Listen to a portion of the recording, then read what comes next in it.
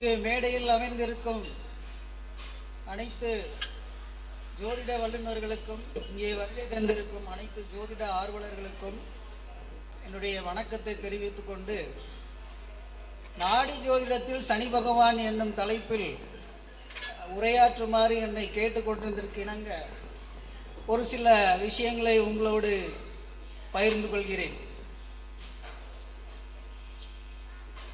சனி பகவான் என்றாலே பொதுவாக பொதுமக்களிடத்தும் ஜோதிடர்களிடத்தும் ஒரு ஒரு அச்ச உணர்வு இருக்கிறது. என்னவென்றால் சனி பயிற்சியானால் என்ன நமக்கு நடக்குமோ அப்படின்ற ஒரு பயம்தான். பொதுவாக நீங்கள் பத்திரிகைகளில் பார்க்கக்கூடிய சனி பயிற்சி பலன்கள் இதெல்லாம் ஒரு பொது பலனாகத்தான் எழுதப்பட்டு வருகிறது. அது எல்லோருக்கும் பொருந்தி வருமா என்பது எல்லாருக்கும் பொருந்தி வரும் என்று சொல்ல முடியாது. பெரும்பாலானவர்களுக்கு பொதுவாக பொருந்தி வரும் என்று எடுத்துக்கொள்ளலாம் ஆனால் ஒரு தனி நபருக்கு வந்து சரியான துல்லியமான பலன்களை தெரிந்து கொள்ள வேண்டும் என்றால் அவரவர்களுடைய ஜாதகங்களை ஜோதிடரிடம் காட்டித்தான் தெரிந்து கொள்ள வேண்டும். பொதுவா கோச்சார பலன்கள் என்று சொல்லும்போது பாரம்பரிய ஜோதிட முறையில் சனி பகவான் மூன்றே மூன்று இடங்களில் மட்டும்தான் வந்து நற்பலன்கள் தருவதாக சொல்லப்பட்டிருக்கிறது. அதாவது ஜென்ம ராசிக்கு மூணு ஆறு பதினோராம் இடங்களில் கோச்சாரத்தில் சனி சஞ்சரிக்கும் காலம் நற்பலன்களையும் மற்ற ஒன்பது இடங்களில் சஞ்சரிக்கும் போது தீமையான பலன்களையும் செய்வது போல்தான் சொல்லப்பட்டிருக்கிறது. இதனால் தான் எல்லோருக்கும் சனியை கண்டால் ஒருவித அச்ச உணர்வு. இது வந்து ஒரு பொதுவான பலன் தான் ஆனால் கோச்சாரத்தில் பலன் சொல்றது வந்து பல முறைகள் வந்து ஜோதிடத்தில் வந்து உள்ளன. அது எத்தனை பேர்கள் வந்து பயன்படுத்தி வருகிறார்கள் என்பது எனக்கு தெரியாது. ஒரு எளிமையான ஒரு முறை அதாவது இந்த கோச்சார பலனை சனியை வச்சு ஒரு எளிமையா தெரிஞ்சுக்கிற ஒரு முறை அப்படின்னு கேட்டா உங்களுக்கு ஜோதிடத்துல வந்து ஓரளவு ஒரு சிறிதளவு ஞானம் இருந்தால் கூட இதை நீங்கள் எளிதில் புரிந்து கொள்ள முடியும். உங்களுடைய லக்னம் தெரிந்தால் போதும். பாவ காரகங்கள் உங்களுக்கு தெரியும். அதாவது லக்னத்தில் இன்று உங்களுடைய அவரவர்களுடைய லக்னத்தில் இருந்து கணக்கிடும் பொழுது சனி பகவான் எந்த பாவத்தில் சஞ்சரிக்கிறாரோ அந்த பாவ பலனை அந்த நபர் தன்னுடைய கொடுப்பினையாக அந்த காலகட்டத்தில் அனுபவிப்பார். இப்போ உதாரணத்துக்கு எனக்கு வந்து என்னுடைய லக்னம் தனுசு லக்னம். நேற்று வரைக்கும் சனி வந்து எனக்கு பதினோராம் பாவத்தில் இருந்தார். அப்ப இந்த கடந்த ரெண்டரை வருட காலத்துல வந்துட்டு எனக்கு என்ன பலன் அப்படின்னு கேட்டா என்னுடைய ஆசைகள் எல்லாம் அந்த காலகட்டத்தில் நிறைவேறியது. நான் என்னென்ன ஆசையெல்லாம் என்ன இருந்ததோ மனசுல ரொம்ப நாள் என்னுடைய லக்னத்துக்கு பதினொன்றுல சந்திர அந்த சனி பகவான் இருந்த காலகட்டத்தில் எல்லா விதமான ஆசைகளும் நிறைவேறியது. நான் கேட்காத உதவிகள் எல்லாம் எனக்கு கிடைத்தது. ஆனால் இப்போ பனிரெண்டுக்கு வந்துட்டார்.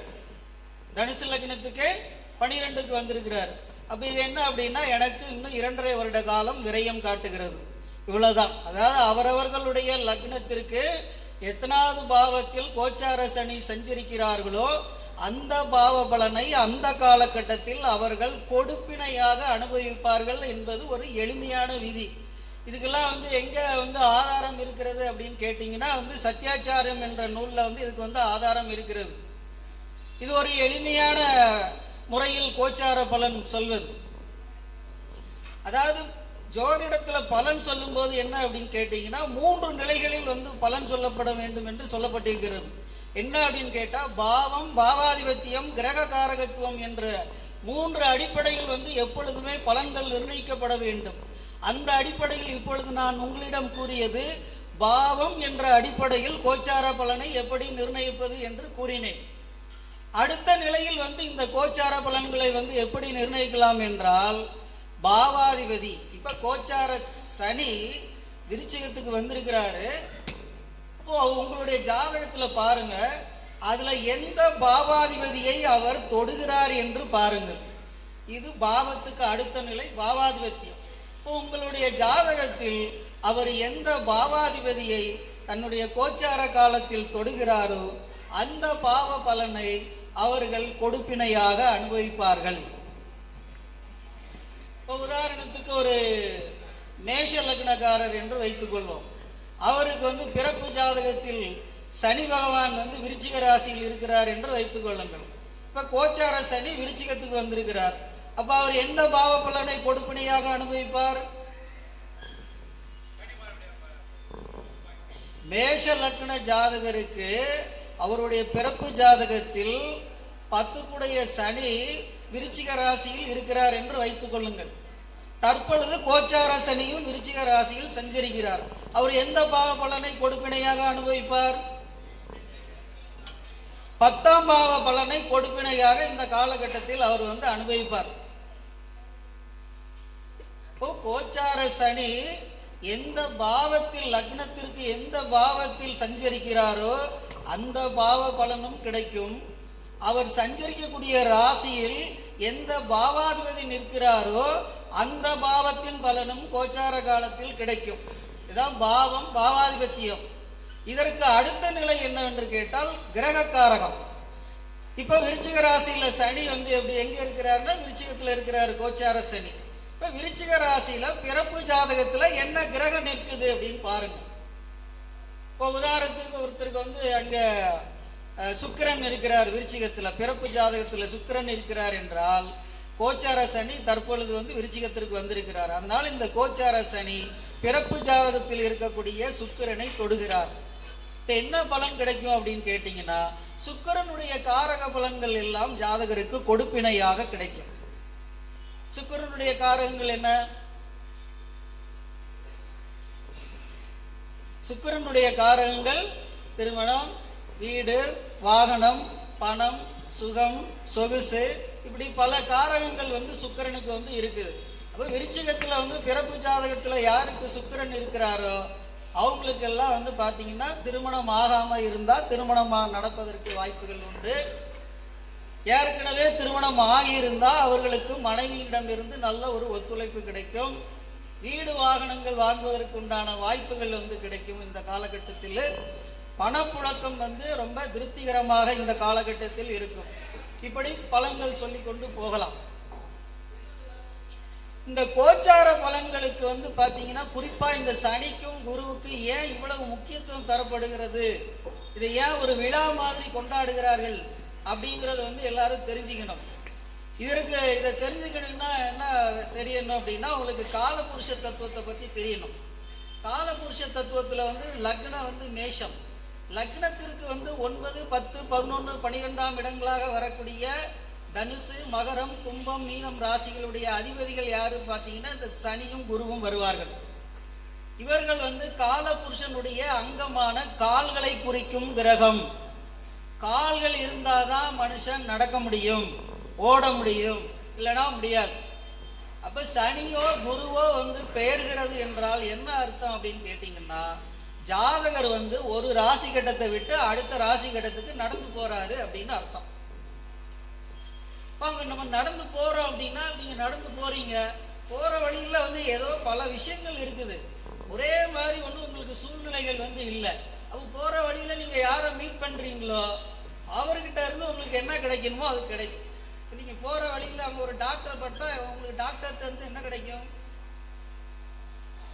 என்ன கிடைக்கும்? டாக்டரை பார்த்தா மருந்து கிடைக்கும். அதே பக்கத்துல ஒரு ஹோட்டல் இருக்குன்னு ஹோட்டலில் போனீங்கன்னா சாப்பாடு கிடைக்கும். அது மாதிரி வந்து சனி வந்து குருவும் வந்து வந்து பெயரும் பொழுது என்ன ஆகுதுன்னா அவர்கள் பெயர்ந்து போகக்கூடிய ராசிக்குள் வந்து என்ன?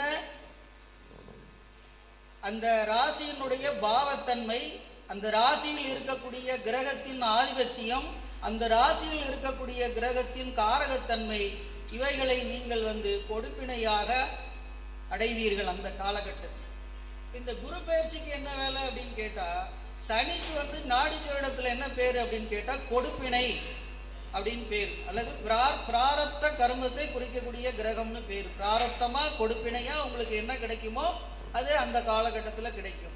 குரு வந்து நாடி ஜோடத்துல என்ன சொல்றாங்கன்னா ஜாதகருடைய முயற்சி அப்படின்னு சொல்றாங்க. குரு பெயரும் பொழுது என்ன அப்படின்னா உங்க- நீங்கள் செய்யக்கூடிய முயற்சிகள் வந்து மாறுபாடு அடைகிறது. சனி பெயர்ச்சி ஆகும் பொழுது நீங்கள் முயற்சி இல்லாமலே உங்களுக்கு என்ன கிடைக்குமோ அது உங்களுக்கு கிடைக்கிறது என்று கூறி என்னுடைய சிற்றுரையை இத்துடன் முடித்துக் கொள்கிறேன். நிறைய பேர் இங்க பேச இருக்கிறதுனால இத்தோடு முடித்துக் கொள்கிறேன். நன்றி வணக்கம்.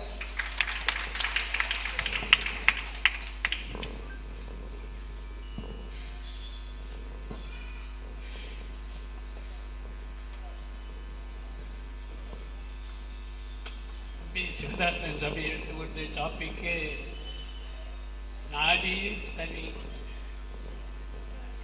அது எனக்கு ஒரு புதிய டாபிக் தான். அந்த டாப்பிக்கில் ரொம்ப அனுபவம் அவர் ரொம்ப அனுபவஸ்தர். அவர் இந்த டாப்பிக்கை பற்றி அன்றைய ஜாஸ்தி பேசக்கூடியவர். நான் ஒன்றே ஒன்று சொன்னேன். சிவதாசன் ரவி சொன்னபோது இந்த குருவி சனி சேர்த்து சொன்னார். இந்த குரு சனி ரெண்டு பேரையும் சேர்த்து எதுக்கு சொன்னாருன்னு எனக்கு புரியல எனக்கு பட் யூஸ்வலா கோச்சாரத்தில் குரு சனி ரெண்டு பேருக்கும் ஒரு தொடர் நெருங்கிய தொடர்பு உண்டு. அந்த நெருங்கிய தொடர்பு என்னன்னு கேட்டேன்னா இரட்டை கோச்சாரம். டபுள் டிரான்சிட் என்று பெயர். அதாவது ஒரு பாவத்தை குரு சனி இருவரும் சேர்ந்து பார்த்தார்களே ஆனால் அந்த பாவம் நிச்சயமாக குழுவிடும் பிழைக்கும் உதாரணமாக இப்ப குரு எங்க இருக்காரு? கடகத்தில் இருக்கார். கடகத்தில் இருந்து அவர் எங்க எங்க பார்க்கறாரு? விருச்சிகத்தை பார்க்கிறார். நகரத்தை பார்க்கிறார். மீனத்தை பார்க்கிறார். அடுத்து எங்க வர போறாரு அவர்? அங்கேயே தான் இருக்கார். ஆனா போ- போ- சனி குலாத்துக்கு வந்திருக்கார் குலாத்துக்கு வந்த உடனே எங்க பார்க்க போறார் மகரத்தை பார்ப்பார் அப்ப மகரத்துக்கு ஏற்கனவே சனி பார்த்து குரு பார்த்துட்டு இருக்கார் இப்ப அந்த மகரத்தை சனி மகரம் மகரத்துக்கு குரு சனி ரெண்டு பேருடைய பார்வை ஏற்படுது அப்போ தனூர் இருக்கிற காரனுக்கு மகர சனி மகரம் ஏற்படும் கடலில் இருக்கிற மகனை ஏழாம் இடம் செயல்படும் கல்யாணம் ஆகும். ஏன்னா ரெட்ட கொத்தாரம். அந்த விஷயத்துக்கு ரெட்ட கொத்தாரத்தில் கட்டாயம் வேலை செய்யும். இதை நீங்கள் ட்ரை பண்ணி பாருங்கள் டபுள் டிரான்சிட் ஆர் ரெட்டை கொத்தாரம் என்பது குருவும் சனியும் சேர்ந்து ஒரு இடத்தை பார்த்தால் அந்த இடம் நிச்சயம் பலிக்கும். ஆக்டிவேட் ஆகும். அது நிச்சயம் பலன் தரும்